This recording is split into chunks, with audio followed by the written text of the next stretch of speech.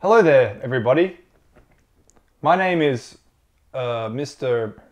Mockingbird, and this is my dear friend. Alexander Sandalis, and we're in here one week later. Kanye West, yay. Or if you're Big Quint, yee. Yeet! Someone's got to tell that man how to say that. He says yee. Still now, still. That's hilarious. Let, let him have his little thing, man. Let him have his little little thing. Um, we're now one week later. We're going to be uh, talking about our our thoughts on Kanye West's latest project. Um, But before we get into it, Yes. if you haven't seen our original video, Oh, uh, I'd you- recommend watching that now, just so you know how our thoughts have changed as to what we're saying now. very good because both of our thoughts have changed. They have, they have changed. One week later, I've listened to this project quite a lot, and I'm enjoying it more. I am enjoying it more. Um, I'm having more fun with it. At the start, it was like, okay, I critiqued it more as a project, and now I'm just like, I'm playing it loud, I'm playing in the car, I'm feeling it more, I'm in my kind of vibe, right? I'm enjoying it just musically. But that doesn't stop me from making me feel like this is still an overall mediocre, average, underwhelming project comparing it to his whole discography. And but I still and I still like the intention of where he's going. He's trying to be raw. He's trying to be vulnerable. Mm. And I think I we both share a lot of the same thoughts Dead End Hip Hop share.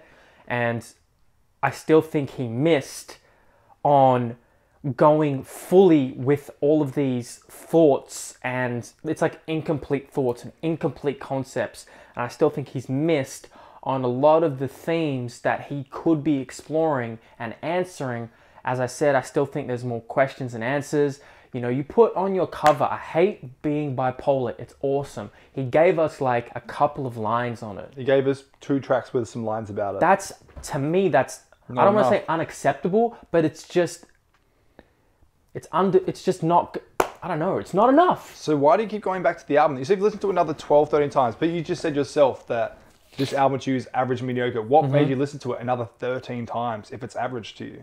That that's it's it's catchy. Like I it Is it just though? it just feels the first half of the album specifically is the most catchy. The when first, track two, track three, the only catchy tracks to me. To me that's it's like I can I can move to that shit like mm, da-da, da-da, da-da, So it's da- the substance you're talking about. So you, so you like the production on this whole album? no. Yeet! No, I'm more talking the first portion of the album I really feel. Uh, the first portion. Yeah. um, and that's I'm just talking superficially. I can enjoy it. Mm. If I go deeper, I lose some of that. Um, you know, I have some hypothesis why, but you know, go ahead, give, give, give me your overview. Um, your version of that. I've listened to the album another six times. Only six, okay. Yep. Six is a lot of times, man. Uh, For a 20 minute album, I don't think so. What? For a 20 minute album, I reckon. Dude, I don't have a lot of time and I have a lot of music I listen to. Giving, giving, like, so really, if, if the album were double, that's three times. And giving an album another three listens is still quite a lot. To Ah. me. I like the album less now. Yes, this is the interesting thing. From the original standpoint, I saw a lot of good in the album. The only problems I had with it on the original intent was with, I think, Ghost Town, the final track, the first track. Uh, the change now is I really enjoy the first track. I see, I, I listen to it a lot more, and I kind of like the, the thinking about who he's talking about killing. I still think it's it's himself, the bipolar, the ego, and all that sort of thing. But I like how other people have been talking about it. It could be from the audience view or from another point of view, and I kind of like this the switch up. I, s- I still don't really like what he's talking about. Really, he's just having a bit of fun that the first track in a way. when he when he comes in with the pum pum pum. But no, I mean, like- mm, mm, mm, Yeah.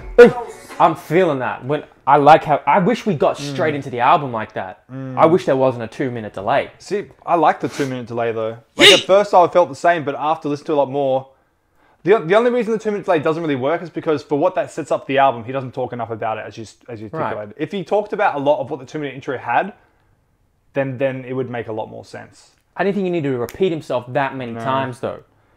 And then And then, Yeah. yikes, uh, I like more now. This is an amazing song. And can we just talk about the hook? Apparently, um, not Ebro, uh, Peter Rosenberg said that Drake wrote this hook. Wouldn't Have you- me. Have you heard that? No. And I just want to mention that that's quite hypocritical. It's like a big, that's pretty yeah, it's quite hypocritical of Pusha T to talk shit about um, Drake for someone writing his bars when Drake apparently wrote this hook unconfirmed. Hypocritical. Hyp- Hypocritical. Pusha T's not Kanye. Just because he's on G.O.O.D. Music doesn't mean he's rapping Kanye. He's still rapping himself. I think it's hypocr- I don't think it's hy- hypocritical. Of Pusha T. yeah, because Pusha T's going from I write my own music, you don't. He's not talking about Kanye. But he has a problem with other people writing their own music, uh, not writing their own music. Maybe he has music. a problem with Kanye, but he just doesn't voice it because he's a closer friend to him, so he talks to him more. Maybe. But I just think that's like a double standard type of thing. Like you pick Drake, but you don't pick Kanye for pick up pick him up on this. Motherfuckers gonna make mistakes. I don't know. I, And get into the song though. Who cooks dope? Hook's dope. The beat's dope. He's playing back. His flow is dope. It's a really fun track, and I love the ending. The ending is him being more free. He got superpowers. He's screaming like. It's a really good track. He's more aggressive towards the end, yeah. Out of all the tracks on this album, that's one of the ones which I play the most. Yeah, yeah. And then we get into All Mine. Which I think is the best track on the album. This hook is absolutely amazing. Okay. And at the start, like, I was undecided on the hook. I was undecided on this song. Mm. But I, was like you, I'm feeling it. Like, is it Valee? seductive. I, yeah, I think so. Valee And and, Ty Dolla and Party, all three of those artists do their thing. And it's short and sweet. There's one verse from Kanye, hook comes back in, it ends. And it's Two things at once. it's it's a fun verse, you know. It's not it doesn't take itself too seriously. I kind of like that sort of shit. So, starting off strong, first three tracks, we I'm not mad at those three tracks. No. See, every time I go back to this album, it's always how I feel. I go back to the first three tracks, I find myself liking it more and more. But then, I just don't feel it. It's we, now we're taking like a down tempo, like we're, we're dropping the tempo down. Yeah. Young Thug, Jeremih, Kanye, and the hook, it doesn't do anything for me. I really don't. I'm not feeling it. And the verse is nice, but like I just don't like the beat. It's just so like I will quote FIFO. FIFO said that this album is missing the Kanye touch. Like you're hearing it, you're hearing Kanye, but Kanye's more known for his his production. I'm not hearing that. I know he's gone minimal on purpose, but it's just missing that that, That punch. extra that extra punch. Like you know, Yeah. Mm. Kanye has his Like you hear a beat, you're like that's Kanye. We hear a song, you're just like that's special because that's Kanye. It's what he did on Pusha T, Daytona. Yeah, exactly. But you listen to this, and I'm just like, I'm not feeling it. Like, I know you're speaking shit, but I can't hear enough because there's not enough emphasis built around it. I really for me to yeah, really the get it. production overall is quite I don't know, lackluster to me. Yeah, so I can't really get. It's so hard for me to get past this track because it really bores me. It really bores me. And then that's gotten you into a mood to listen to the next track. And I don't even Right. like. I don't even like Charlie Wilson on here anymore. It's Oh, I can't fuck with that. Char- Charlie, no, I think Charlie does this hook well. He does it well, but it just. And then we strips it back. Uh, with the little. To fight you. It's too wrong to high school. You sell the high school. Too close to snipe you. Truth told, I like you. Too bold to type you. Too rich to fight you. Calm down, you light So I I can admit feel that's that. I can I admit that's a that. real good song. It's just I think maybe it's the fourth track that ruins it for me. But even even listen to that now, like I just there's still something missing from that track for me. Okay. I feel like maybe maybe because it's just such an old school Kanye sound. It sounds like something that like was on, uh, uh, fuck, what's after college dropout? Late, late registration. It sounds like a track off there, and I don't know. As much as people want the old Kanye, I don't want old Kanye. I want Kanye to keep evolving and doing new shit. And he's always, you know, with especially with Live Pablo, he just grabs elements of music and just adds it to sort of his new stuff. I, I don't know. I just I just wasn't really feeling old Kanye there. And, and this motherfucking track right here, Are you are you feel the same? You like it more? You like it less? worst track on the album. Starts off amazing. It does. It's Kanye singing. it's Great. amazing. Honestly, one of the best beats in the album too. With this, absolutely soulful, beautiful. The Kid Cudi fucks it, and Shake. I don't feel shake either, Shake, man. Shake fucks it. And- It's so different. But by itself, shake's not bad. No, shake just don't it. suit the song I've though. So I don't like this track even more now. And all of y'all that are commenting, you're not like you can't mean shit because you don't like Ghost Town or Ghost Town's best track, the album, top five Kanye tracks. You're welcome to that opinion. You can think that. But fuck me, you're wrong. I mean, they're not. No one's wrong. Out, just an Nah. opinion is like a fucking asshole. We all got one, you know. yeah, man. Um, but I, I just don't feel it. Like, I listen to the start of the song because the start's so strong, because Yeah. Kanye's singing so good. Like, when something's so good, it means that the bad is going to be more bad. Like, Yeah, it's it's, a it's all about the balance, man. So, like, it just makes the track so underwhelming. I think he leaned on Cudi and Shake too much. I think I want to hear a version where it's predominantly him, not eighty percent of the song. Jesus, Yeah. sorry. And then that, the last track, it's too. The production's too simple for me. It's just like a drums and an organ. No, I haven't. Nah, just you know, I, it suits. The, I think it suits to the theme of what he's talking about: the vulnerability of having children, having uh, uh, female daughters, and you know what he was like growing up, and you know maneuvering through all that. I think it suits the beat, but uh, you know, going track by track, it's not as cohesive as I'd like it to be. Yeah, I feel like if there was like tracks in between that last track there, where it kind of built up to it more. Yeah. I feel like after Ghost Town and the other few tracks, like when I get to the end, I'm just like, I'm just all, all of a sudden just like, I don't care. Hmm. I don't care what you guys say. This beat isn't doing anything for me. I'm just, I'm just not feeling. Now it. you gotta you gotta make sure people understand that's how you listen to music. The beat's gotta hit you first. The beats gonna hit me, man. For me, that's not the case. I can get production. past that to see it thematically and conceptually. Um, Hmm. Obviously, we're two different humans. We're going to experience it differently. Hmm. Now, I want to break down some um, a potential theory I saw on Reddit that was uh, really interesting. Um, I, you know what? I originally wrote this is possibly one of his most revealing projects yet, but I actually don't agree with myself anymore. I, I, I think it could have been, but I don't think it is anymore. Um, it could be up there, but it just executed so underwhelmingly. It- it- you know what it missed? It missed the grandeur. Dark fantasy. For me, Yeezus has grandeur. I know a lot of people don't like Yeezus, but it had this this oomph, this fucking hit you in the face, like wow. And dark fantasy hits you in the face in another way. It's like wow, this is so this is so bright and lively. And then late mm. registration and graduation, they hit you with this deep internal kind of you feel it in your heart and soul. Mm. And I feel like a lot of those aspects they're kind of in here, but they're not in here to re- enough. They're like, it's not. I'm not getting enough. It's too minimal. I'm not. Yeah, I'm just not getting enough of it. and you know, yeah, Ghost Town released the same day as Ye was released. This shit was re-scrapped. This whole album was re-scrapped. As I posted on our Twitter and Instagram. I heard uh, someone say something that was very similar. They said it's like Kanye, like obviously he said he's gonna put out an album every seven days. It's like he, someone's like he rushed this album. He hundred percent did. It makes sense because, but hold on, let's make one thing clear. That's how a lot of his albums have been made, but Yeah.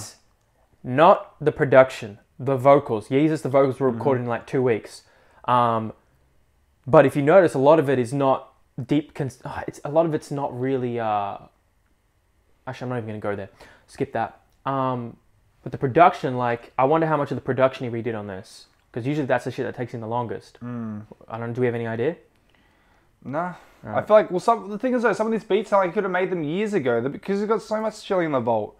Like now, maybe all these tracks were done like not even this year, and maybe he's just like, oh fuck it, I need to make an album. Uh, let's just record some vocals and put this out.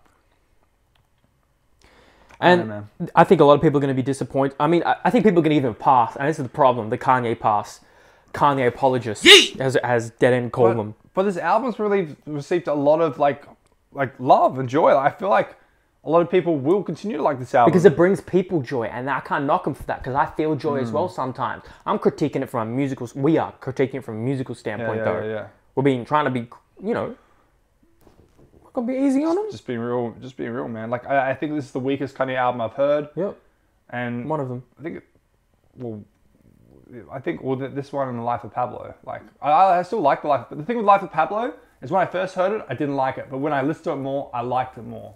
The difference with this one is I like it less. And that's rare. Life of Pablo grew on me, not as an album, but in terms of tracks. I would keep going back there through a different track every week, and for like for months, I was just listening to different stuff from the Life of Pablo. Well, now what about like in the shit old media? Like, so he's talked about, you know, the lead up to this album. He's gone. He's gone on Twitter, TMZ. He's been doing interviews talking about uh, race, politics, uh, religion, not religion, race politics, and um, you know Trump, and uh, he's been very, making it very clear where he stands, and he's addressed quite, he's addressed almost none of it, and, and I just think that's irresponsible, and it, it decreases your integrity as a person because it's like, oh, what you just did all that just for fucking attention and press. Imagine if this album involves him halfly talking about to do with this bipolar with Kim and stuff, and the other half to do Addressing with the rest. Addressing the rest. Imagine if the whole album was about that with the same production and without features. Well, after the TMZ interview, he redid it, so maybe it was. We don't know. Mm-hmm. All I can tell you is that the two biggest things I had wrong with this with this album was the features. Actually, no, it's probably the biggest one, and the production as well. Yeah, I thought for a Kanye album, it didn't sound like his sort of production. Like I, I could listen to these beats and be like, I couldn't just be like, that's Kanye.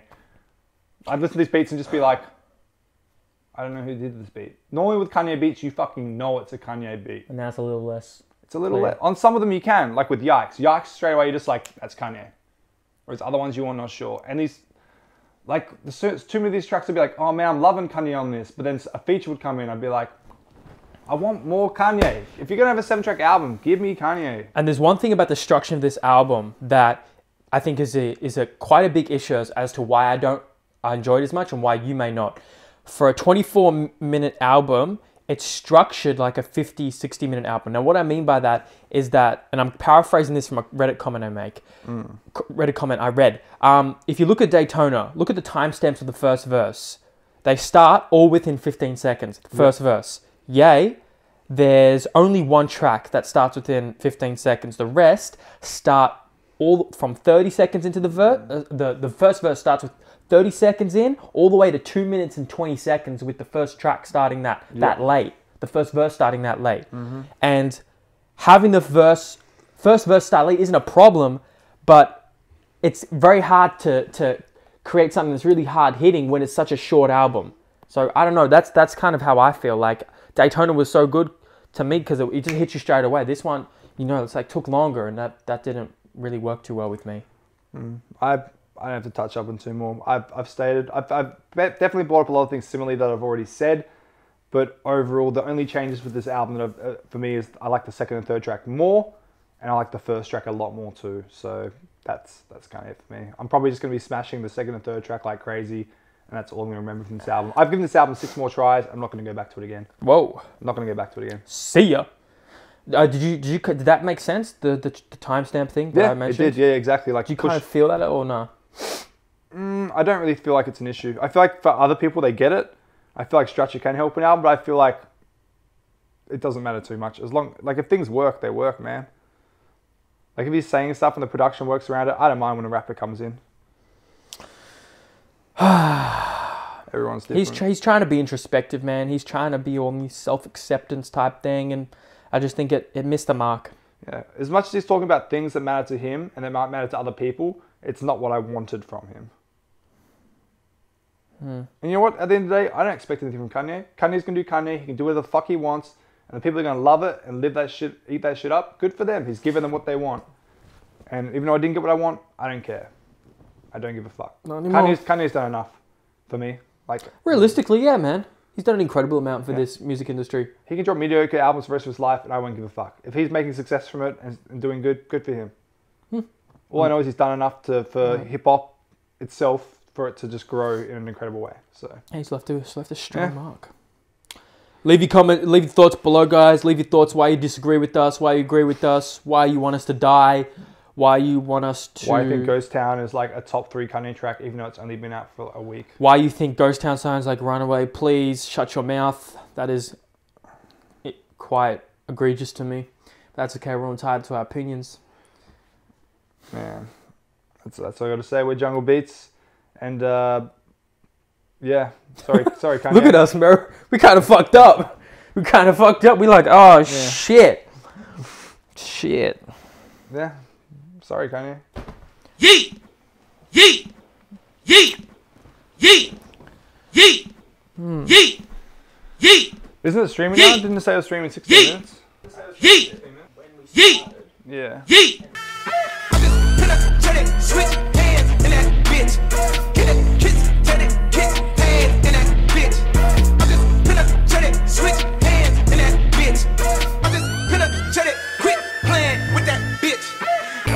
got the A. Man, I'm motivated.